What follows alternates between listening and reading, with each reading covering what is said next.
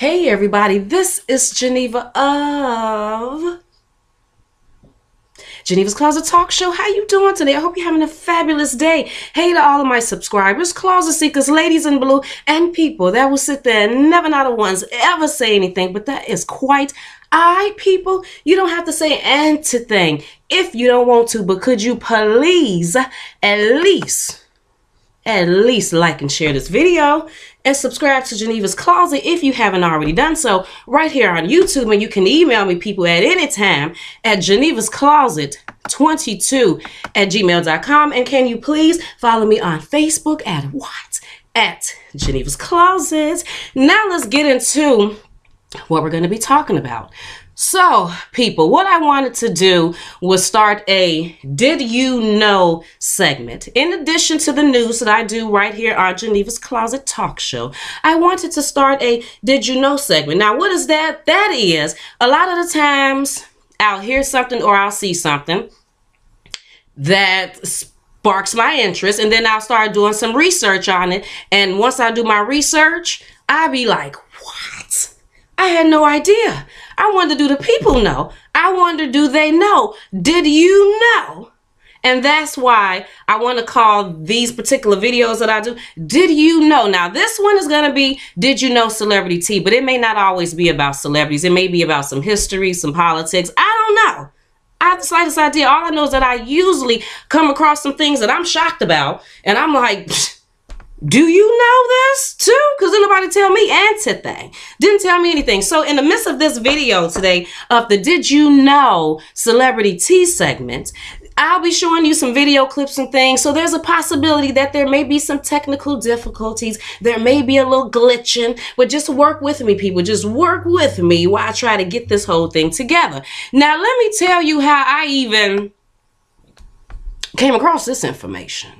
Let me tell you what. So the other day, probably about a week ago, I was on Instagram, manning my own Instagram business. And then I seen a posting that popped up that had Tempest Bledsoe and Darryl M. Bell. Now, when I say them names, you might be who to who? Who you talking about? Tempest Bledsoe is the girl who played as Vanessa on the Cosby Show. You know Bill Cosby's the Cosby Show, and Darryl M. Bell is the guy who played as Ron Johnson. I'm sorry, that played as Ron Johnson on A Different World. Now the article has said, you know, basically congratulations because they done been married for 26 years, and I was like, no, they haven't. Now, I know that they've been together. Actually, they've been together ever since 1993, which is which was around the time that A Different World was ending. And at that time, um, Tempest was 20 years old and Darryl was 30 years old. So technically 1993, 2019, they have been together for 26 years, but I didn't know anything about being married. So that's where my research started. I went and I did a little research on Wikipedia. It didn't mention anything about them being married. So then I kept on looking up some stuff. And then I came across an article written in 2009 by Straight from the A. So in this article, 2009, I guess rumors were circulating that Darryl and Tempest were married. So Darryl went on V103 radio, according to the article, to let it be known that not only were they not married, but if it's not broke, then don't fix it. And in the article, he also mentioned that he wanted to be the Stedman to her Oprah. And I was like, huh? Well, then when I kept reading, it said that Tempest were handling their finances, which was a good thing because come to find out, did you know that Darryl M. Bell, aka Ron Johnson, had squandered a $14 million inheritance that he had received from his father all around that a different world time? Did you have any idea? Because no one told me anything. I didn't know. Like I said, I knew that they were together. I don't know if you knew that, but I didn't know anything about a $14 million inheritance, which then kicked off my research. So before we get into this whole inheritance thing, let, let me give you a little background stuff on Mr. Darryl M. Bell, okay? So now let's go to that part. So Darryl M. Bell was born May 10th, 1963 to Travers and Laura Bell Jr. He was born and raised in Chicago, Illinois. Now, his father, Travers Bell Jr., was the founder and owner of the only, so this is not only celebrity tea, this is also some black history for you people. This is some black history for you. He was the founder and owner of the only black owned member firm of the New York Stock Exchange.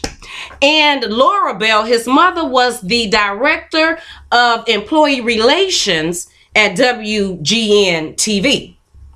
It says that um, Darryl's parents divorced when he was 16 years old, and at that time, his sister Rhonda was sent to a boarding school in Boston. So he has a sister Rhonda. And then it says Darryl's own education was at Delbarton, an all boys Catholic preparatory boarding school in New Jersey that he said was run by monks. Uh, so the atmosphere was completely different than, you know, what was portrayed to us at Hillman College. So he had a totally different experience. So in this particular article that was written, the article that I am reading now was written January 29th, 1989 which was actually a year and two days after his father had passed away. But let me keep reading. So this is what he says in the article. As I look back, there were some very hard times for me being one out of four black students out of 400 students at Delbarton. He said that he was a talkative student, but never the class clown. So I guess which is different than what we seen at, you know, him playing Ron Johnson. And then he said that he, when he was a freshman, he was about five one, and, you know, some prejudice things going on there at the school. So then he goes on to say, I'm trying to remember this off the top of the dome because I've read it so many times. Then he goes on to say that sometimes that he had never considered acting or comedy as a profession growing up in Chicago.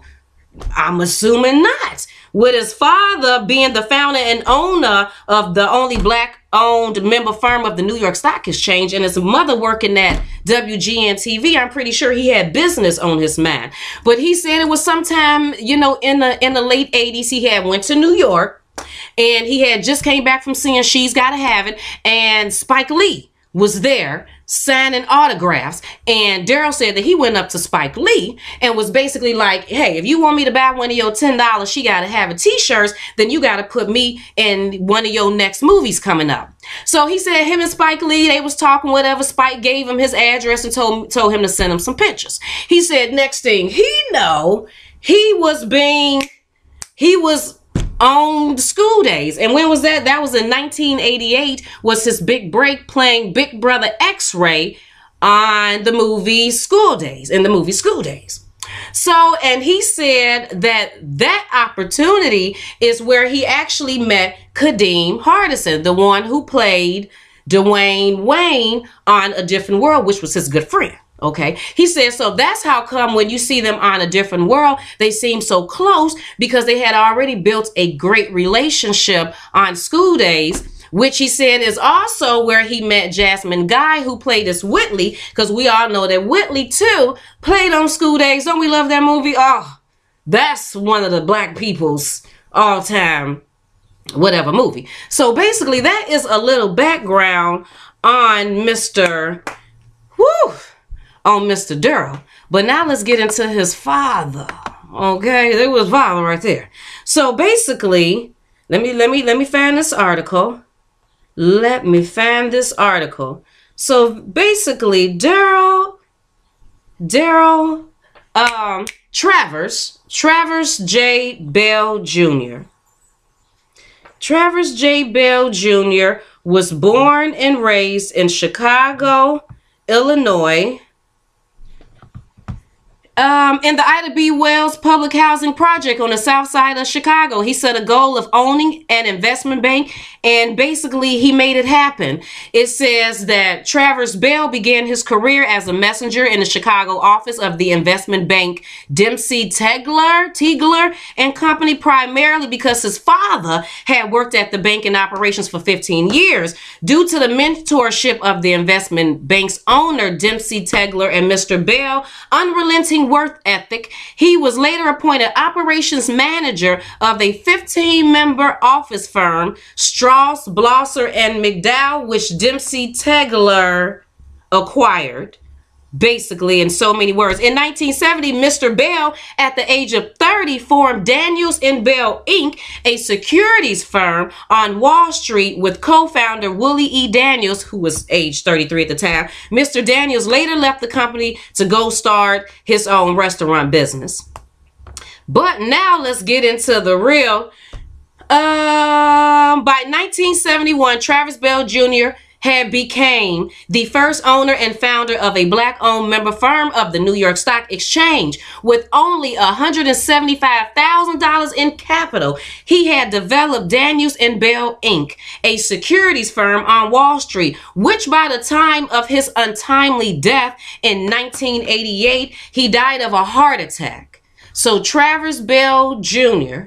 died of a heart attack in January of 1988. Mind you, School Daze came out in 1988. So these are all the things that was going on. So the father passed away at the same time that Darryl had just started his acting career. That's them right there.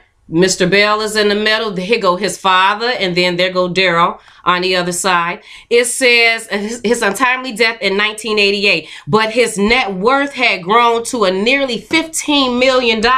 Travers was also a major shareholder in Freedom National Bank and Cocoline Chocolate Company, the company that made chocolate chips for Nabisco.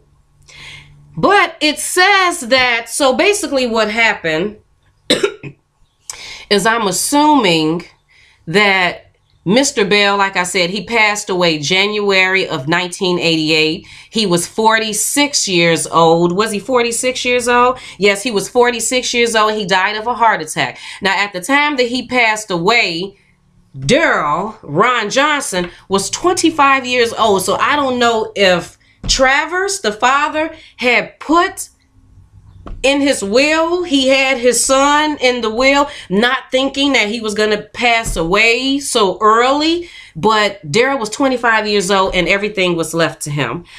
Uh, so basically, he left everything to him. Okay. And it says, as Darryl it's a different world stint was coming to an end in 1993 he was an, embarking on a new dynamic in his life a six-month court battle after darryl beloved father travers passed away at the age of 46 from a heart attack. He left his multi-million dollar business to darryl. However after darryl ended up losing most of his father's 14.9 million dollars due to inexperience his dad's widow and two of darryl's aunts Travers' sisters took him to court. Travers Bell had also been major shareholder in uh, Freedom National Bank, which was taken over by federal authorities three years after he died. In addition, Cocoline Chocolate Company filed a Chapter 11 bankruptcy petition in 1992. Oh, oh, that man, this man worked so hard. And then for his son, mm, I can just imagine if his daddy knew what his son did. A Superior Court, court probate judge in Morris County, New Jersey ruled that actor Darryl Bell wasted the $14 million estate left by his late father out of imprudence rather than wrongdoing as charged in the suit by the mama and Travis' two sisters which Bell had no, while Bell had no experience in business, court records indicate he put his mother and sister on the payroll and racked up a huge debt on the corporate credit card as assets and revenue plummeted at the firm. The widow of the late founder, Laura Bell, which is Darryl's mother, and two of his sisters Joanne Walker and Karen Bell McLaren. And here go a picture of Karen Bell um, McLaren. And I think I actually found the other sister, Joanne Walker, but since I wasn't sure, I didn't want to put a picture of her. But this is Dar this is Travers' sister that sued Darryl. Okay. Uh, whew. and Karen Clinton filed suit charging the young actor Darryl had mis- mismanaged the established New York securities firm, and this was written in Jet Magazine, May of 1993. After it was all said and done, Darryl's father business plummeted.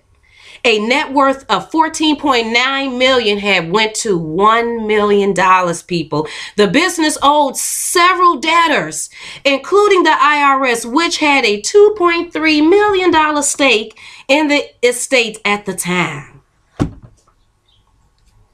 It says in the suit, Darryl's aunts and his mother had charged that he had mismanaged the business and misappropriated monies. They had asked the court to name new executors of the will and asked that co-executors Darryl and the grandfather, remember the grandfather that I showed you in the picture with Travers and Darryl, be held accountable for replacing the $5 million they maintained had disappeared from the estate. Mm. So his mama and uh, Travers' two sisters wasn't going. They believed Darryl and his grandfather, Travers' father, was up to something. In dismissing the case after a six month, month trial, Judge Staten attributed the firm's hard times to Bell's inexperience rather than malicious intent.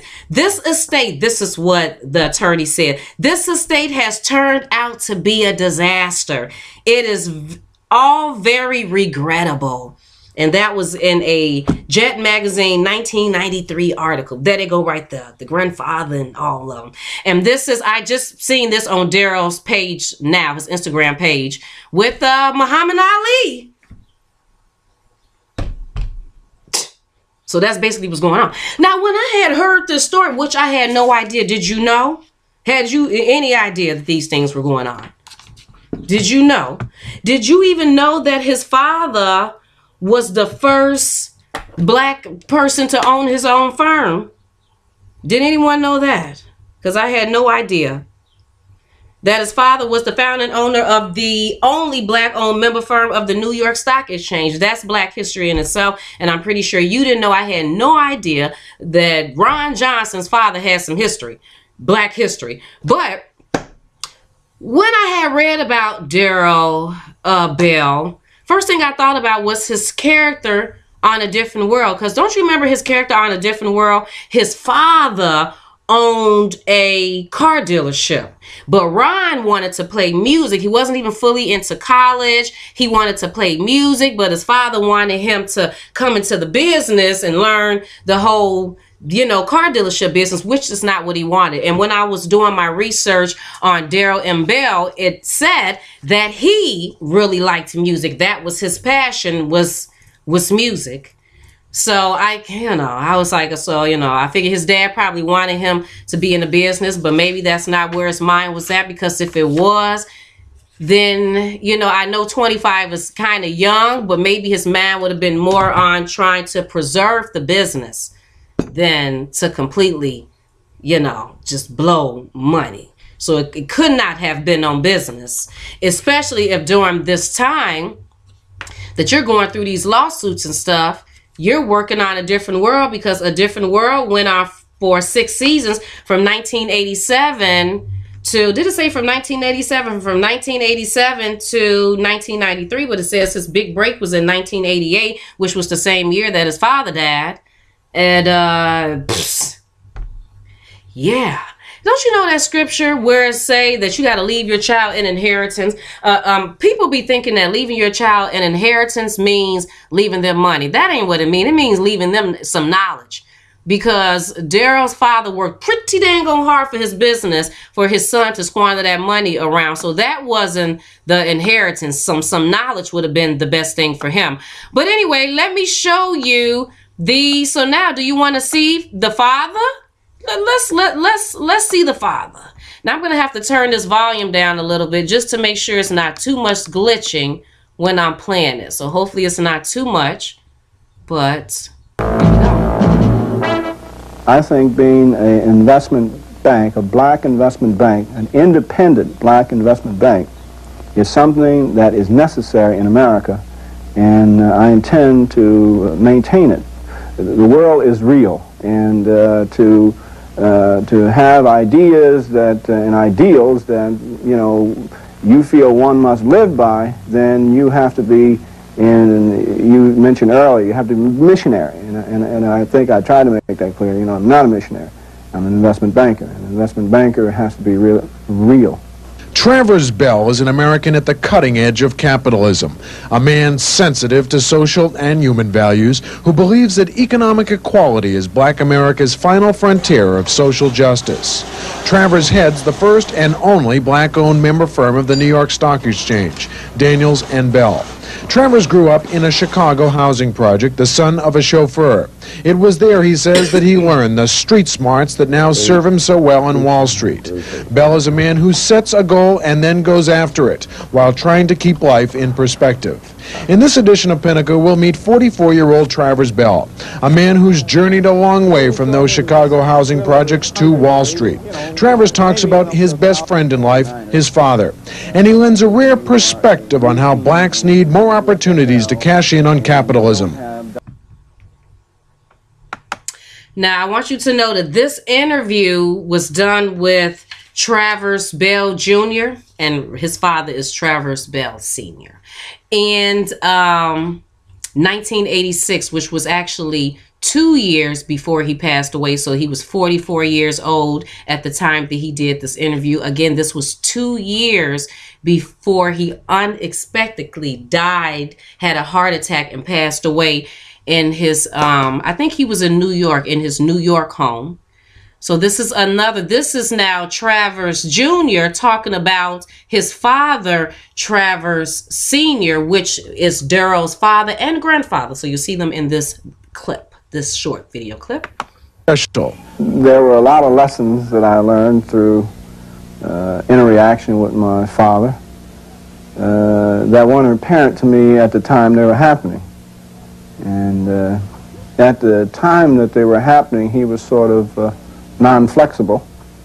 But more importantly, as opposed to others that I knew who were in a similar environment that I was, uh, I was always able to lean on something that my father told me or uh, that he said I should be careful of, and uh, some of the rules and regulations that uh, he laid down uh, have had uh, really not only application of that particular time, but as life has rolled on for me, they still work, and they still do. I mean, he's a sage old fella.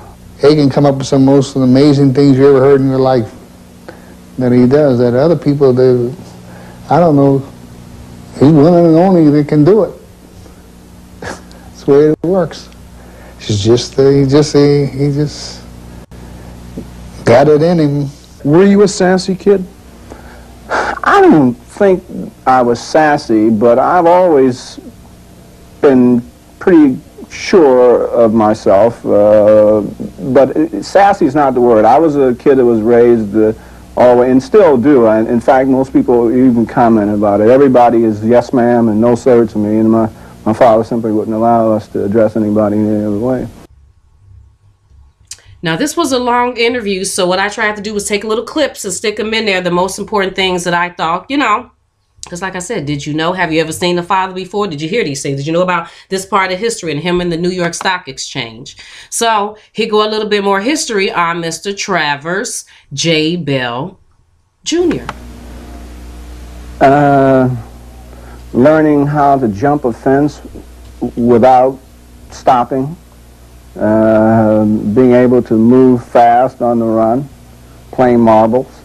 I was a good marbles champion. And I remember, I think that's one of the experiences that uh, helps me today. I can recall, you know, I was a pretty good marble shooter. And in fact, I won a couple of neighborhood trophies for being a good marble shooter. But I can recall the big kids coming around and uh, you know, they would shoot for a while, and if you beat them, then there was a word we would call scramble.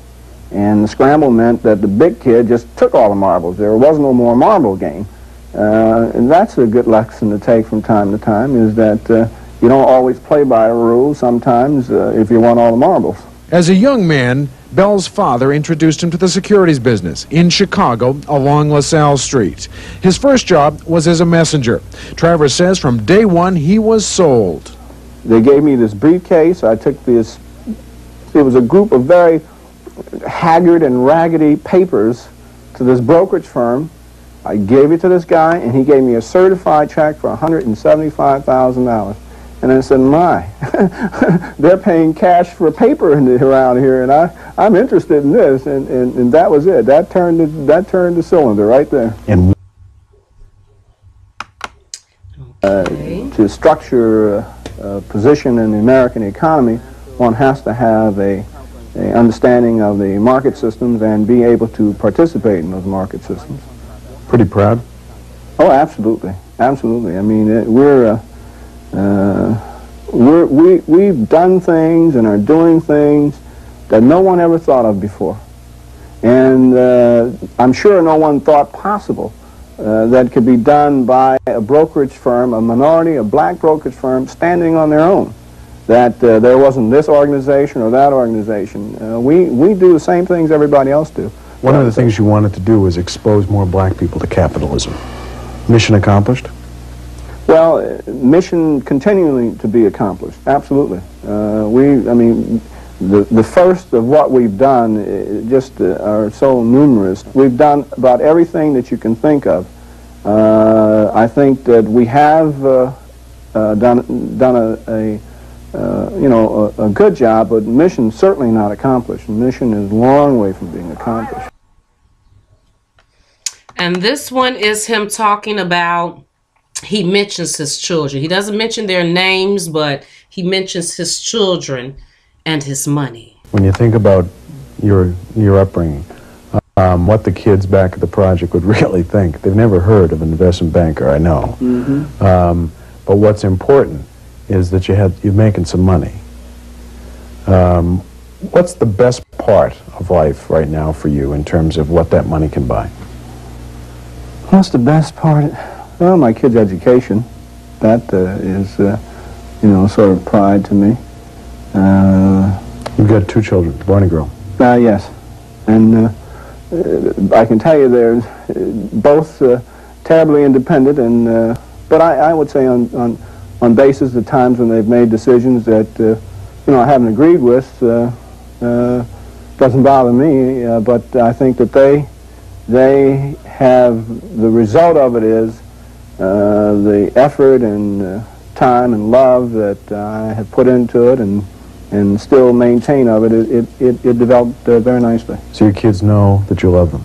Oh yeah, no question about that. You never. I have uh, a, a banner over my desk upstairs in my room, which is from my daughter, and it says, uh, uh, "Everybody has a father, but uh, only a few people have a daddy."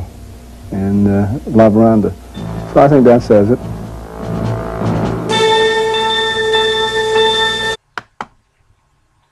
So if his father, so at the time his father did this interview, Darryl was 23 years old. And one of the video clips I didn't even play for you where it said how long the father said he was working 15, 17 hours trying to make sure that he got his craft and stuff together to make sure that he know every ins and outs of the business just so you can pass away, you hand it down to your son, and your son completely squander it. I tried to find pictures of his sister Rhonda and because I found some articles on the sister when she got married back in the 80s. So I found who her husband and stuff is. Matter of fact, I even found the nieces and the nephews. The nieces and nephews did not have not a damn picture up of their mama, but I definitely found Darryl's nieces and nephews. I found a family photo of them. I was trying to find the mother to see if I can find any pictures of her or based on my research, find other family members and see did they have a picture.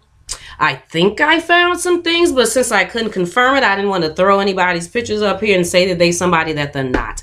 But basically, what I'm trying to say to you people, what I'm asking you is, did you know? Did you have any idea? How would you feel if you had sat there and worked that hard and then passed some stuff on to your kids that you would hope that your kids would know how to maintain and take care of? You would hope that they would at least try and then find out that they done blew, messed up all of your stuff? to the point that to this day, Tempest, Tempest is like, no, because she was with him in 93, Because in 93, he was 30, she was 20. This is the time he was going through the lawsuits and stuff. So she was with him at that time. I think after she seen that, she was like, I don't know. I think I think I'm gonna handle the finances. You know. Cause it says that because it said the Tempest in uh, straight from the A that article written in 2009, it said the Tempest was the breadwinner that she was breadwinning stuff and something something about they had been in a in a reality something back in 2009 i don't know whatever it was i had seen it. I just wanted to show you this. Did you know people? I hope you enjoyed this edition of did you know? Celebrity tea about who? Ron johnson aka no Darryl M. Bell, Darryl Michael Bell, aka uh, Ron Johnson. And just to let you know that Tempest Bledsoe, like I said, she's she was also born and raised in Chicago, Illinois. And right now her birthday is August 4th, 1973. She is currently 45 years old. So that means that Darryl is 56 years old. So she's going on She'll no wait. She's 55, right? Because they how many years did I say they apart? Oh, they 10 years apart. So she's 45 and he is right. Because she's going on 46 years old, and he's 56. Dang, he 56. I didn't even realize he was 56. But anyway, people, there is a book out. It's called In the Black. And it talks about Travers M. Bell and him being the owner and founder of his own firm, the only black owned firm on the New York Stock Exchange and it's called NV Black, Black Enterprise. Now, I seen that it said that it's on Amazon. What is it called? In the Black, A History of African Americans on Wall Street, 1699 to say only one left. But you may be able to find a book somewhere else, but I just put it up there. It's part of your history. You may want to know. My plan is to leave the link to the actual video to, to Travers uh, J. Bell's um, video, his interview that I actually found on where? On YouTube. Please make sure you like and share this video, people, and subscribe to Geneva's Closett if you haven't already done so right here on YouTube. Make sure you do that and stuff is. And yeah. Please, please leave your comments and tell me what you think about this. Did you already know? Did you know the Tempest and Darryl were dating? Did you even know that? you had no idea? Did you think that they was married? Not ain't married. Darryl said, if it's not broke, then why fix it? And did you even know that, uh, what is her name? What is her name? Um, what is the lady that was supposed to be on? Wait a minute. Let me find it. Because I got it. I got it right here. Wait is coming to me. It's coming to me. Nope, it ain't came to me. But Lena Horne, did you know that Lena Horne was supposed to be the teacher on a different world originally? And did you know that Meg Ryan was supposed to be on there? But since Meg Ryan was on there, that's when they put the other white girl that was on there that I can't even remember her name. I forgot her name. Uh, Melissa. With ain't Melissa song. but did you know that? I had no idea until I looked it up in the, in the thing. I had no idea that Meg Ryan was supposed to be on there. But anyway, people, tell me what you think it is. You all have a fabulous rest of your day, and I'll talk to you later, people. Bye.